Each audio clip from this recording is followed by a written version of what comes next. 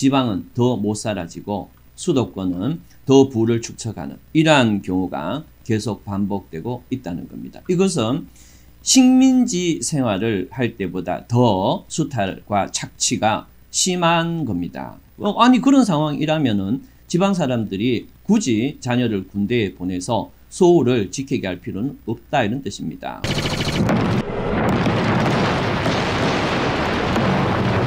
안녕하십니까 이네오와입니다. 이번 영상에서는 지방 사람들이 무장을 하고 소울을 공격한다면 5.18 광주 민주화 운동처럼 민주화 운동으로 평가받을 수 있을 것인가에 대해서 설명을 드리도록 하겠습니다. 먼저 5.18 광주 민주화 운동이 발생했던 그 원인을 경제적, 정치적, 언론적 상황에서 그 정당함을 설명을 드리고 지금 지방 사람들이 무장을 해서 서울을 공격을 한다면 과연 그 정당성이 5.18 광주 민주화운동의 발생보다 더 약할 것인가 강할 것인가에 대해서도 정리를 해드리고 그래서 현재 지방 사람들이 무장을 하고 서울을 공격한다면 5.18 광주 민주화운동 때보다 더 그 행위가 정당할 수 있다에 대해서 설명을 드리도록 하겠습니다. 지금 이 영상은 제가 지역 감정에 대해서 정리한 마지막 영상인데요. 지금까지 1950년대부터 8, 90년대까지 지역 감정에 대한 영상 5편을 업로드해 두었습니다. 그리고 지금 이 영상이 그 마지막 지역 감정 영상이 되겠습니다. 어, 그러면 지금 화면에 제가 지금까지 해왔던 지역 감정에 대한 영상에 대해서 참고했던 자료가 되겠습니다. 이 자료들은 지금 여섯 번째 영상을 만드는데 참고했던 자료 1뿐만 아니고 1편부터 지금까지 전체적으로 영상에서 참고했던 자료가 되겠습니다. 그러면은 어 지금부터 광주 5.18 민주화 운동 때의 경제적, 정치적, 그 다음에 언론적 상황을 지금 현재의 서울과 다른 지역과의 상황하고 비교를 해보는 영상을 만들도록 하겠습니다. 제가 지금 서울이라고 하면은 서울을 포함해서 경기권 어, 전체적으로 수도권을 포함해서 서울이라고 말할 때도 있고 서울만을 가지고 서울이라고 말할 때도 있기 때문에 여러분들 그런 점을 참고해서 들어주시면 좋겠습니다. 일단 경제적인 상황에서 광주 민주운동 때는 어떤 경제적 상황이었고 어, 지금 수도권과 지방은 어떤 경제적 상황이었는지를 비교하면서 지금 지방 사람들이 서울을 공, 무장해서 공격할 정당성이 있는가에 대해서 설명을 드리도록 하겠습니다. 우선 5.18 광주 민주운동 때 경제적이고 정체적인 상황의 개요를 잠깐 보시면요. 여기 보시면 어, 가운데에 있는 조금 음, 붉은색으로 된 부분이 전체적으로 전라도 쪽의 인구 분포입니다. 그 다음에 어, 위에 이 가장 윗부분을 차지하는 게 경상도 지역의 인구 분포고요. 아랫부분이 어, 수도권 지역의 인구 분포가 되겠습니다. 어, 그 다음에 오른쪽에 보이는 것은 전라도 13.4%또 영남 지역 30.1%라고 이렇게 되어 있는 것은 어, 1980년대 전후해서 경상도와 전라도의 경제 그러니까 지역 내의 총생산의 전국의 비중입니다. 그래서 전라도는 전체 생산량의 13.4% 이고 그 다음에 영남 지역은 30.1%가 되겠습니다. 그런데 영남 지역에서 5.18이 일어나는 과정에서 인구 비중은 약 30% 약간 넘습니다. 그런데 1980년대에 영남 지역의 GDP 비율은 30.1%입니다. 그러니까 영남 지역만 봤을 때는 특별히 다른 지역보다 더 우월한 그러한 경제적 상황이 있다고 보기 어렵습니다. 왜 그런가 하면 인구 비율하고 국내 지역 내 총생산이 비중이 같기 때문에 그렇습니다. 그런데 어, 전라도 지역은 이제 갈수록 인구가 줄어들고 해서 약 20% 정도의 인구 비중을 차지하고 있는데 총생산은 13.4%이기 때문에 인구 비중에 비해서 상당히 이 지역 내 총생산의 비중이 약하다는 걸 알 수가 있습니다. 어, 그런데 이 5.18 당시에 전라도는 주로 내세웠던 게 경상도와 전라도 간의 경제적 격차라고 내세웠지만 사실은 경상도 지역은 평균적인 지역 내 총생산을 갖고 있기 때문에 사실은 이거는 좀 잘못된 그러한 원인 속에서 이 경제적인 어떤 것이 일어났다 이렇게 볼 수가 있겠습니다.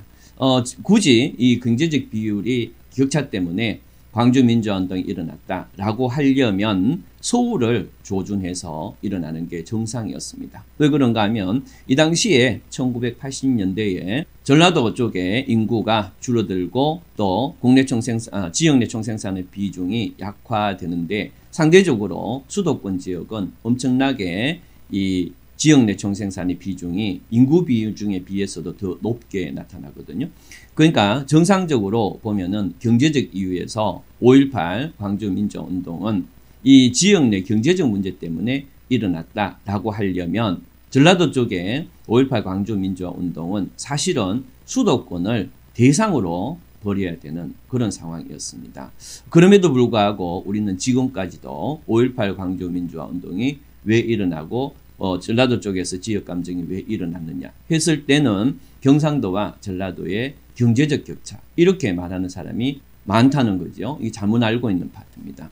어쨌든 간에 지금 이 일반적인 사람의 견해에 따라서 5.18 광주 민주운동의 이 경제적 격차를 다시 조금 정리해 드리면 지금 여기 보시면 1980년대 5.18 일어날 때 그러니까 전라도는 전체 국내 총생산 중에서 지역 내 총생산 비중을 보면 앞에서 보셨듯이 13.4%를 어, 차지하고 있고 영남 지역은 30.1%를 차지하고 있습니다. 어쨌든 이런 차이 때문에 전라도가 경상도에 대해서 지역 감정을 갖게 되고 또 5.18이 일어났다라고 하는데 앞에서 말씀드린 제 의견은 좀 다르긴 합니다만은 어쨌든 이것을 일반론적으로 맞다 이렇게 보고 어, 이 격차 때문에 5.18 광주 민족 운동이 어느 정도 정당성을 갖는다. 이렇게 일단 보도록 하겠습니다. 어, 그러면은 현재 이 수도권 서울하고 지방의 경제적 격차는 어떤가? 지금 여기 보시면 전라도 13.4%, 경상도 30.1% 이렇게 되어 있습니다. 그럼 현재 어, 이 수도권하고 지방의 경제적 격차를 보도록 하겠습니다. 그런데 여러분들 어, 수도권과 지방의 경제적 격차를 보실 때좀 어, 미리 아셔야 될 게 있습니다. 무슨 말인가 하면 과거에서부터 조선시대부터 어, 수도 서울 혹은 경기도를 다 포함해서 여기가 사람도 많이 살고 그렇기 때문에 전체적인 GDP, 지역 내 GDP의 비중이 원래 높았지 않느냐. 그래 생각하실 수가 있는데요. 전혀 그렇지 않습니다. 어, 지금 이 표를 어, 보시면요. 광복 직후부터 이것이 표현된 거거든요. 여러분들이 혹시 6.25 전에 어, 서울권에서 굉장히 많은 경제적 비중을 갖고 있었는데 그런데 6.25 때 다 파괴됐기 때문에 그래서 다시 수도권이 성장한 거다. 이렇게 또 착각할 수가 있어서 어, 6.25 전에 통계부터 일단 보도록 하겠습니다. 어, 여기 지금 표를 보면 6.25 이전에 통계, 인구 통계가 나와 있는데요. 서울은요, 전체 인구의 어, 20% 정도밖에 안 됩니다. 어, 이, 이게 1949년도거든요. 어, 그런데 경상도 지역은 오히려 서울권보다 많습니다. 30%가 넘어가는 그런 상황이었고 호남권도 어, 수도권보다 인구가 많아요. 이, 이런 상황이었습니다. 그렇기 때문에 원래부터 서울권이 인구도 많고 또 지역 내 총생산의 비율도 높았다. 이거는 애초부터 말이 안 되는 겁니다. 어, 그런데요, 1970년대, 80년대를 거쳐가면서 경상권의 인구 비중도 조금씩 줄어들고 이 전라권의 인구 비중은 많이 줄어들고 그 다음 60년대 지나면서 수도권의 인구 비중이 급격히 증가하게 됩니다. 그러면은 이 수도권의 인구만 이렇게 급격히 증가했는가 하면은 그렇지 않고요. 인구 증가뿐만이 아니고 지역 내 총생산의 비중도 다른 지역에 비해서 급격한 차이를 보이게 됩니다. 자, 지금부터 설명을 드리는데요. 어, 지금 보시는 어, 것 중에서 왼쪽에 그리면 5.18 광주 민정 운동이 일어날 때 그때 전라도와 경상도 지역의 격차가 되겠습니다. 그러면은 전라도가 13.3% 어, 지역 내 총생산이었고 경상도 지역이 전체가 30.1%였다는 거죠. 그러면 총 3배쯤 되겠죠. 어, 그런데요, 지금 보면은 부산, 울산, 경남하고 어, 서울권은 이렇게 차이가 납니다. 천조에 300조 밖에 되지 않습니다. 우리나라 지방에서 가장 큰 어떤 비중을 어, 지역 내 총생산 비중을 차지하는 부산, 울산, 경남조차도 서울의 3분의 1도 안 되는 거죠. 어, 거기다가 대구 경북은 5분의 1 정도밖에 안 되는 거고 광주 전남은 더 심합니다. 이런 것처럼 예, 수도권하고 지방의 가장 큰 도시들을 비교해 봐도 3분의 1에서 5분의 1 정도의 경제적 격차가 나게 되는 거죠. 그러면은 5.18 광주 민주화운동처럼 이 광주가 경상도 지역보다 총생산이 약 3분의 1 정도로 아주 작았다. 그래서 5.18 광주 민주화운동이 무장투쟁이더라도 정당성이 있다라고 본다면 지금 지방 사람들이 서울에 대해서 무장으로 공격을 하게 된다면 그러면은 5.18 광주 민주화운동의 정당성에 비추어 봤을 때 당연히 정당하다 이렇게 결론이 날 수가 있게 되는 겁니다. 어, 그러면은 최근에 조사온 조사해 놓은 수도권의 일정 문적 자원의 비중을 이렇게 보시면요. 지금 이 막대 중에서 아주 큰 거에 두 개가 있는데요. 하나는 서울을 뜻하고 하나는 서울 이외의 경기권을 뜻합니다. 이 두 개의 합이 다른 모든 합보다 월등히 예, 크다라는 것을 여러분들이 알 수 있고 그런데 이것이 예, 감소하느냐 하면 그렇지 않습니다. 2011년부터 2020년까지 이 수도권의 지역 내 총생산 비중을 보면은 49.1%에서 52.52.5%로 갈수록 이 비중이 높아지고 이런 추세가 좀처럼 장래에서도 바뀌지 않으리라고 현재 예상되고 있다는 거죠. 그러면은 구체적으로 서울 사람들이 지방 사람들을 어떻게 착취하고 수탈을 하는가 그거에 대해서 두 가지 예를 가지고 설명을 드리겠습니다. 지금 이 화면에 보이는 지방 학생들이 인서울대학에 진학을 했을 때 어, 한 해에 얼마가 소요되는지에 대해서 한겨레 신문이 2011년, 2014년에 조사한 자료가 되겠습니다. 이때 한 학생이 1년에 1,600만 원의 비용이 소요된다입니다. 그런데 어, 지금 2013, 2023년이죠. 그러니까 한 10년 전에 1,600만 원이었다면 그동안에 물가나 물가 상승이나 이런 걸 고려했을 때 어, 지금 저는 2천만 원으로 막연하게 추정해서 계산을 하지만 아마 2014년에 조사한 1,600만 원에 비해서 지금 제가 임의로 2천만 원으로 조사한다 해서 이게 부당하다. 너무 많, 많이 계산했다라고 할 사람은 없을 겁니다.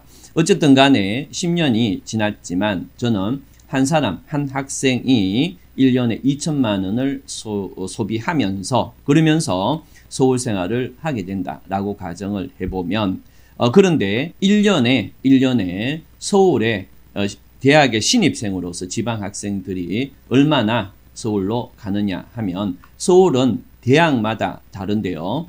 어, 서울의 서울이나 수도권의 어, 대학에서 서울이나 수도권 학생의 비중은 학교에 따라서 20%에서 40% 사이에서 머뭅니다. 그럼 역으로 얘기하면 지방 학생들이 60%에서 80%의 정원을 채운다는 거죠. 그래서 어 그래서 제가 임의로 이렇게 계산을 해 보니까 한 해에 서울로 가는 대학생 신입생이 약 6만 7천 명 정도 나오는 걸로 되어 있습니다. 그러면은 2천만 원에다가 6만 7천을 곱하게 되면 1조 3천억이 어떠한 반대 겁부 없이 어, 오로지 지방에서 서울 쪽으로 가는 교육비가 되겠습니다. 그런데요, 이 신입생만, 어, 지방 학생들이 신입생만 서울에 있는 게 아니죠. 거기서 4년을 버티게 되겠죠. 그러면은 1학년, 2학년, 3학년, 4학년이 쓰는 학비를 다 곱하면 1조 3천억에서 곱하기 4를 하게 되면 한 해에 5조 2천억이 지방에서 서울로 가게 되는 겁니다. 오로지 교육비만으로 또 교육비와 생활비만으로 지방에 5조 2천억이 서울로 그대로 유입이 되는 거죠. 그런데요, 이러한 교육비는요, 지방에 서울에서 본사를 두고 지방에 에, 설치하고 있는 유통업체들 있죠. 대형 유통업체들이나 백화점. 이런 거에 비하면 사실은 이거는 적은 돈입니다. 그렇기 때문에 어, 이 교육비가 오, 한 해에 5조 2천억이 오로지 서울로 빠져나간다 라는 것 뿐만이 아니고 이게 적은 게 아니에요. 어, 그래서 유통업체라든가 뭐 백화점이라든가 이런 또 금융기관이라든가 이런 걸 전체를 합치면 지방의 자원이 지방의 자본이 완전히 누룽지를 긁어서 먹듯이 서울 쪽으로 박박 긁어서 서울 쪽으로 이동을 하게 되는 거죠. 그리고 또 두 번째 예를 들겠습니다. 여러분들 서울에 있는 주요 대학이 기숙사를 늘려서 지방 학생들을 수용시키자 이렇게 했을 때 그 해당 지역의 국민들이 결사적으로 반대를 한 기사를 많이 읽었을 겁니다. 그, 그 결과 기숙사가 충분히 지어지지 못하고 어, 그 주변에 임대업자에게 많은 어, 지방의 자본이 이동을 하게 되는 거죠. 그런데 그 어느 누구도 서울에 있는 구청장이나 시장 그 어느 누구도 그러한 문제를 해결하려고 적극적으로 나서는 게 아니라 오히려 구청이나 시민들의 지지를 얻기 위해서 그런 걸 조장하거나 묵인하는 그런 경향도 상당히 많습니다. 그런데요, 이렇게 임대료로 지방 사람들을 대상으로 임대료로 굉장히 비싸게 자본을 축적한 다음에 어, 그런 다음에 다시 어떻게 하느냐. 그 어, 자본을 가지고 다시 지방에 건물이나 주택이나 땅을 사게 되는 거죠. 그렇게 되면 그런 투자를 통해서 한마디로 지방민들의 자본을 수탈해 가서 다시 지방민들의 토지나 건물이나 주택을 매입함으로써 지방의 투기가 발생을 하고 그래서 지방에서 순수하게 실수요자가 그러한 땅이나 주택이나 건물을 수요하고자 할 때는 이미 어, 그 토지값이나 건물값이 상당히 상승해 있는 거죠. 이러니까 결국에는 지방의 돈을 지방에서 수탈하고 착취를 하고 어, 그래서 남긴 자본을 다시 지방에 투자해서 또다시 그 수탈이 계속 반복되고 어, 그러한 결과로 지방은 더못 살아지고 수도권은 더 부를 축적하는 이러한 경우가 계속 반복되고 있다는 겁니다. 이것은 식민지 생활을 할 때보다 더 수탈과 착취가 심한 겁니다. 그러니까 지방 사람들 입장에서는 차라리 서울권의 권력에 의해서 이 나라가 운영되는 것보다 차라리 미국이나 일본이나 중국이 우리나라를 지배해서 통치할 때 오히려 더 나을 수도 있다. 이런 것이 지금 서울 사람들이 전국의 지방민들을 수탈하는 그러한 상황이 얼마나 나쁜지를 알 수 있는 증거가 되는 거죠. 그런데 여러분들 이런 말도 할 수 있을 겁니다. 중앙정부가 어, 지방을 살리기 위해서 지방교부금을 얼마나 많이 지원해 주는데 이렇게 여러분들이 생각할 수도 있을 겁니다. 그런데 사실은 그건 그게 아닙니다. 무슨 말인가 하면 지방이 최소한의 연명을 할 수 있도록 중앙에서 중앙지원금이 오는 거죠. 그런데 그 중앙지원금이 없어지면 어떻게 되겠습니까? 서울 사람들이 지방을 착취할 대상이 없어지는 거죠.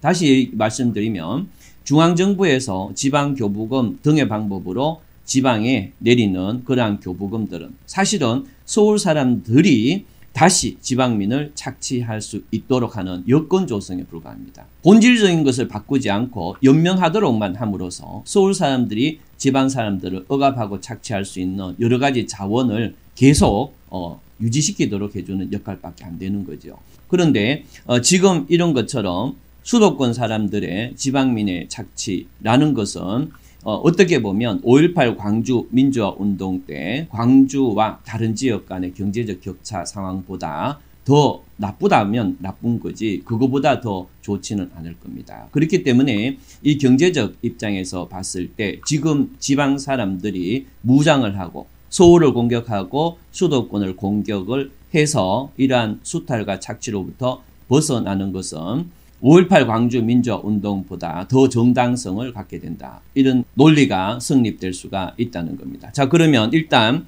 경제적인 이러한 상황에서 지방민들이 서울을 무장으로 공격을 할 경우에 충분히 정당성이 있다는 것을 여러분들이 아셨을 겁니다. 그러면 이제 정치적인 입장에서는 어떤 정당성이 있는지 지금부터 설명을 드리도록 하겠습니다.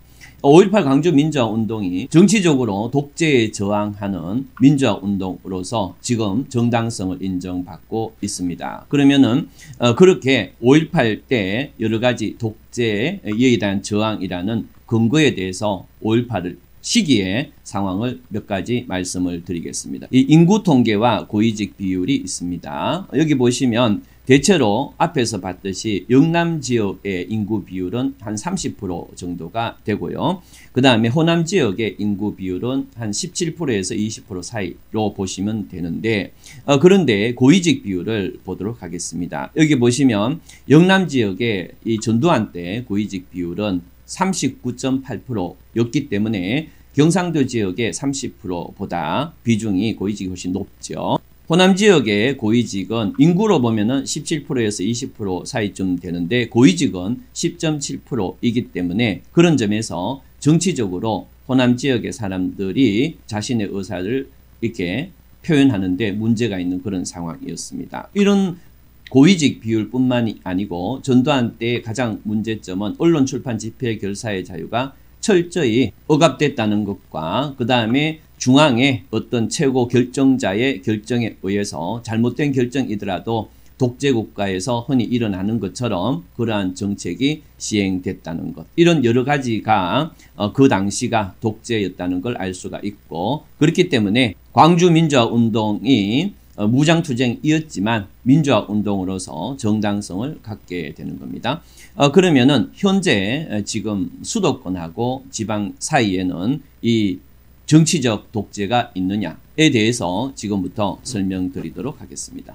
여러분들 정치적 독재라는 것은 과거에는 쿠데타나 힘에 의해서 독재가 일어났습니다. 그런데 현재의 오늘날 시기에 거의 모든 나라의 독재는 이 쿠데타나 힘으로 일어나는 경우는 드뭅니다. 오히려 민주주의라든가 합법적 방법에 의해서 독재가 일어나는 경우가 많습니다. 그런데 의외로 어, 이러한 민주주의 방법이나 합법적 테두리 안에서 독재로 진행되는 경우는 히틀러부터 있었습니다. 히틀러가 어, 나치당을 만들어서 그 나치당이 집권에 가는 과정은 이 무력에 의한 쿠데타가 아니거든요. 정상적인 그러니까 형식적으로 실질적인 건 아니지만 형식적으로 어, 모든 절차를 밟았어요. 어, 그래서 정당을 만들고 또 정당과 정당 간에 연합을 하고 어, 또 의회도 기능을 발휘하고 또 어, 의회가 일정한 법을 만들어서 그 법에서 어, 총통의 통치가 이루어지고 이런 것처럼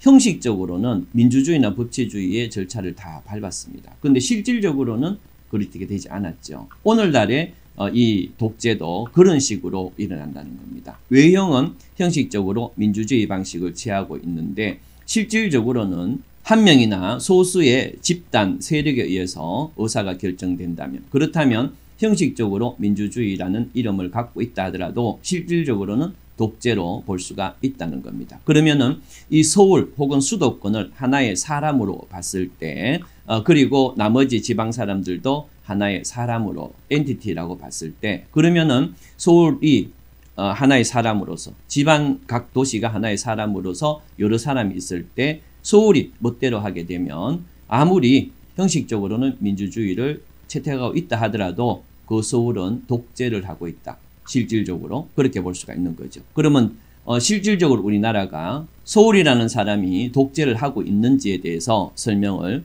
드리도록 하겠습니다. 우선 지방자치가 어떻게 이루어지는지 설명을 드리겠습니다. 지금 어, 지방자치는 우리나라에서 광역과 기초가 있습니다. 광역은 어, 광역시, 특별시, 그 다음에 도, 이 수준에서 도지사, 그 다음에 광역시장, 특별시장 요런 어떤 체계가 어, 광역 지자체입니다. 그리고 도지사나 특별시장 어, 그 다음에 광역시장이 광역자치단체장이 되는 거죠. 그리고 어, 그 아래 그 아래라 하면 좀 있으면 그와 동급으로 지방의회가 존재하게 됩니다. 그리고 시, 군, 구처럼 이 광역자치단체 안에 있는 세부적인 어, 기초자치단체들이 있죠. 그 안에는 다시 구청장, 군수처럼 지방자치단체 장, 기초자 치단체 장이 있고 또 기초자치단체의 장과 동급으로 지방의회가 이렇게 설치되어 있다는 겁니다. 그런데요, 이 광역지자체장이 되려거나 혹은 후보로 나오거나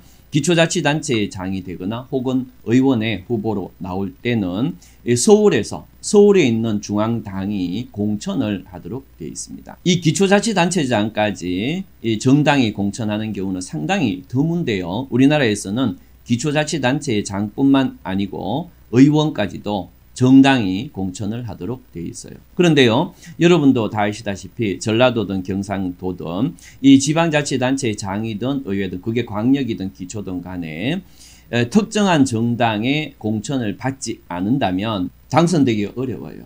어, 그 얘기는 무슨 말인가 하면 지방자치단체의 장, 광역이든 기초든 지방자치단체 장이나 의회 의원은 중앙당의 어떤 입김 속에 있을 수밖에 없게 되는 겁니다. 만약에 어떤 지방자치단체장이 자기 지방자치단체를 굉장히 살리기 위해서 열심히 노력을 했는데 그것이 서울의 이익과 충돌된다. 그렇다면 서울의 어떤 사람들의 인구 지지율이 높기 때문에 그렇기 때문에 중앙의 당은 바로 그 지방자치단체장 그 지방을 위해서 혼신을 다하는 그 지방자치단 제장이 혼신을 할수록 서울과의 이익은 충돌되기 때문에 중앙에서는 그 사람을 공천하지 않을 가능성이 높아집니다. 그래서 지방자치단체장이나 지방의회 의원들은 절대로 서울의 이익과 충돌되는 지방의 이익을 추구할 수가 없어요. 또이 어, 경상도든 전라도든 상관없이 광역지방자치단체장은 음성적으로나 양성적으로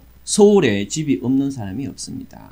어, 그 이거는 기초 지방자치단체장도 아마 대부분은 서울의 집을 한두 채씩 갖고 있을 겁니다. 만약에 어떤 문제가 있으면 이 서울에 있는 집을 수호하려고 하겠죠. 이런 사람들은 지방에 있는 어떤 집을 버리고 만약에 두 개 중에 하나를 버려라. 어, 그리고 자치단체장 임기 끝났다. 그러면은 아마 지방의 집을 버리고 서울로 갈 겁니다. 따라서 이 지방자치단체장이라고 해서 지방자치단체 이익을 위한다. 하지만 이 사람들의 어떤 행동은 서울이라는 독재 권력 속에서 놀 수밖에 없고 서울의 이익과 충돌될 경우에는 서울의 이익을 우선시할 수밖에 없게 되는 겁니다. 이러한 이유로 사실은 서울을 하나의 사람으로 보고 엔티티로 보고 지방에 있는 여러 도시를 하나의 사람으로 봤을 때 결국에는 모든 어, 지방의 어떤 조직들 힘 있는 조직들은 서울의 독재자의 하나의 팔다리에 불과하기 때문에 어, 그렇기 때문에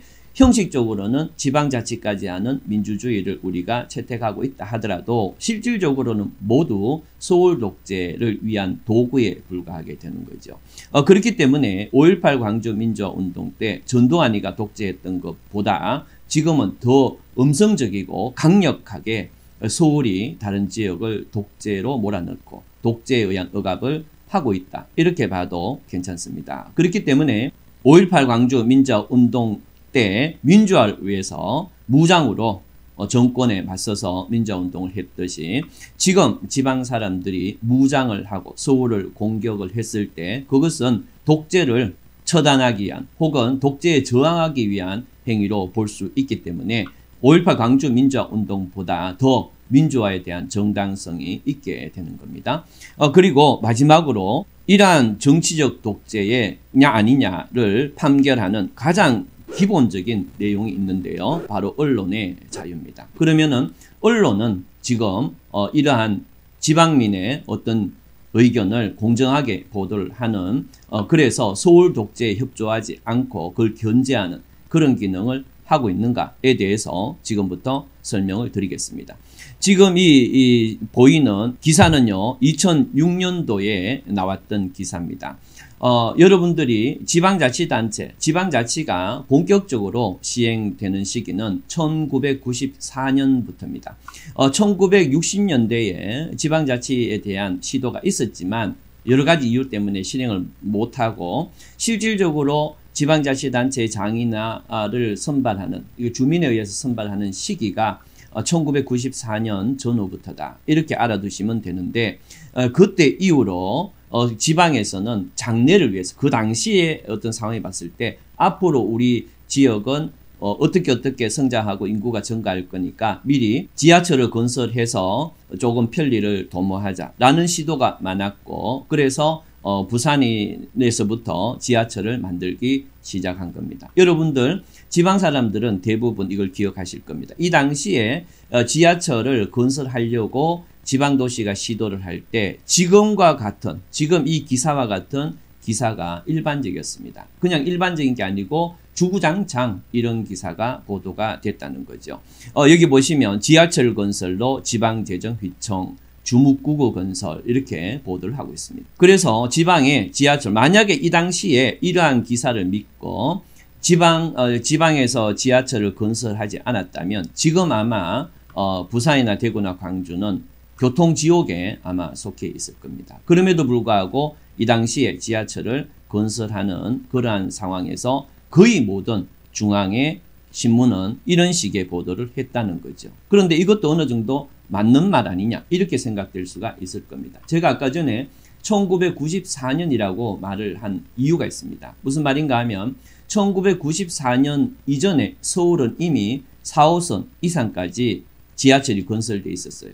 그 지하철은 전부 전국에서 모은 국비로 다 건설된 겁니다. 왜? 1994년 이전에는 지방자치단체가 어, 시행되지 않았기 때문에 결국에는 국비로 다 건설했어요. 그런 상황에서 지방에서 이제 지하철을 건설하려고 하니까 자기들은 국비로 다 건설을 해 두고는 이제는 지방은 너네들 돈으로 건설해라. 그런데 건설하려고 하니까 왜 빚질 일 하느냐. 이렇게 보도를 하는 겁니다. 그런데요, 이러한 보도, 중앙 언론의 이러한 보도는 결코 지하철에서만 머무는 게 아닙니다. 거의 모든 곳에 어, 서울의 어떤 것을 어, 포장하는 쪽에서 어, 지방을 보는 그런 개념으로 다 보도를 하고 있기 때문에 결국에는 서울 권력의 독점을 옹호하는 형태로 언론이 기능을 하고 있고 그렇기 때문에 이것을 독재라고 해도 충분히 정당한 용어다 이렇게 볼 수 있겠습니다. 그러면은 이 중앙지가 수도권의 정책들에 대해서는 어떻게 보도하는지 지금부터 보도록 하겠습니다. 지금 여기 보시면 박원순과 그 다음에 오세훈 개발 이렇게 되어 있는데요.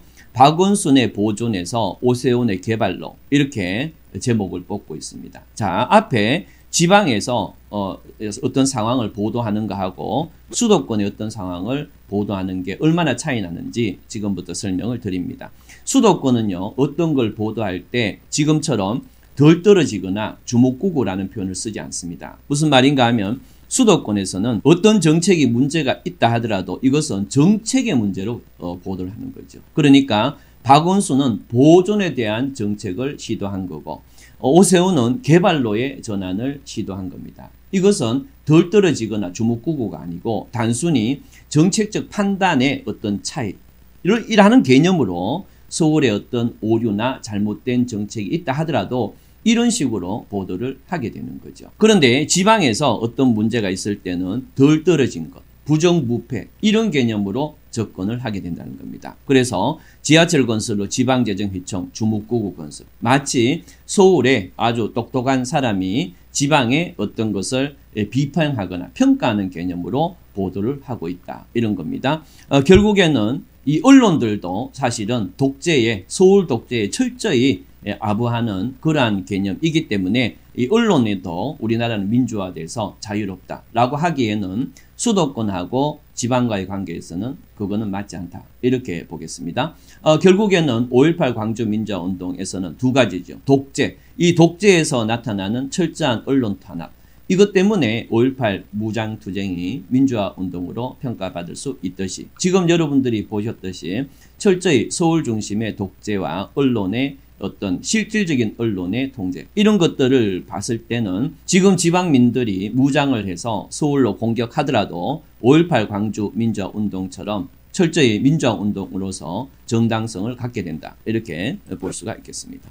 자 그러면은 여기서 우리가 서울로 무장 음, 투쟁 무장을 해서 서울로 공격을 하는 과정에서 우리 자녀들의 군은 어떤 문제가 있느냐. 자, 지금부터 그걸 설명드리도록 하겠습니다. 지방 사람들은요, 이제는 어, 군대를 사실은 보낼 필요가 없습니다. 왜 그런가 하면 우리나라는요, 어, 수도권 지역에서 가장 많은 군대를 배치하고 있습니다. 그래서 지방 사람들에 의해서, 지방 사람들의 자녀에 의해서 수도권이 방어되고 있다는 거죠. 어, 그렇기 때문에 이런 어떤 수탈과 착취를 하는 사람들을 지방 사람들의 자녀를 군대 보내서 그래서 어, 그 군대가 가장 많이 배치된 게 수도권인데 거기 보내서 보호해 줄 필요가 전혀 없는 거죠. 그렇기 때문에 지방 사람들은 전라도 사람들은 어, 어, 자신의 자녀를 군대에 보내서 전라도만 지키게 하는 겁니다. 그 다음에 경상도만 지키게 하고 서울의 어떤 위험은 서울 사람들의 자녀가 지키도록 하는 거고 그 인원이 부족하면 서울 사람들이 자녀를 더 오래 더 많이 군대를 보내면 되는 겁니다. 그런데 여러분들 이런 말도 할 수 있을 겁니다.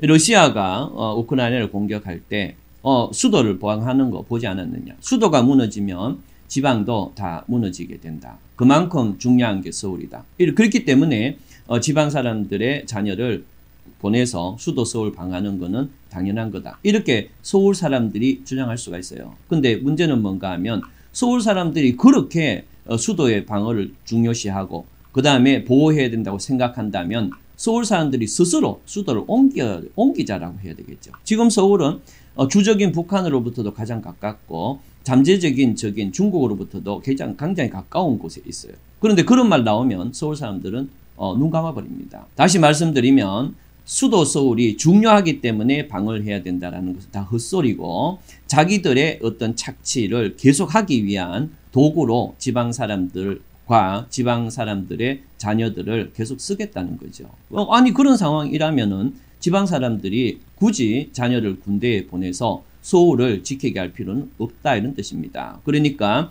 지방 사람들의 자녀는 그 지방에서 군 생활을 하도록 하는 게 적절하다고 봐야 되죠. 만약 이렇게 된다면 지방 사람들이 무장을 하는데 상당히 도움이 될 겁니다. 그래서 이러한 무장을 바탕으로 서울을 공격해서 어, 이 마치 식민지 사람들이 독립을 독립운동에 나서듯이 지금 이 지방 사람들이 마치 식민지보다 더한 착취와 억압을 받고 있는 상황이기 때문에 그렇기 때문에 지방 사람들이 이러한 무장을 통해서 서울을 공격하고 제거하는 것이 차라리 더 낫지 않는가 이렇게 생각이 듭니다. 이 이러한 문제는 우리 세대에 끝나는 문제가 아닙니다. 우리 이러한 것이 고착될 경우에는 우리 다음 세대, 다음 세대, 다음 세대에서 어, 마치 식민지 국가가 계속적인 수탈을 통해서 그 후손들이 억압을 받듯이 지방 사람들은 그렇게 어떤 노예 상태에서 끊임없이 수탈 착취를 당할 수밖에 없는 상황에